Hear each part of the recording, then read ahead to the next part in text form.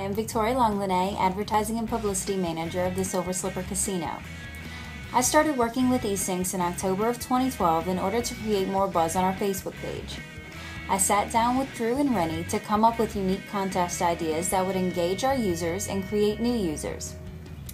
The Silver Slipper Facebook page had nearly 2,500 fans as of October 2012, right before the launch of our first social media contest. After three contests, we now have 4,000 likes, that's over 1,500 new likes, and a 60% increase.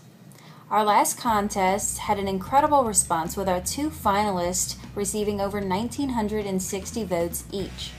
Overall, we have more participation on our Facebook page than ever, and I feel that it's just another way that our patrons can contact us if they have any questions.